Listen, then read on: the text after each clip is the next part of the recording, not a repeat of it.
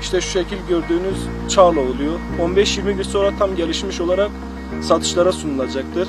İlk başta kendi yerli halkımız alıyor. Ondan sonra il dışına çıkarıyoruz. En son aşama ise soğuk hava depolarına girdikten sonra başta Rusya olmak üzere bütün ülkelere gönderimiz oluyor.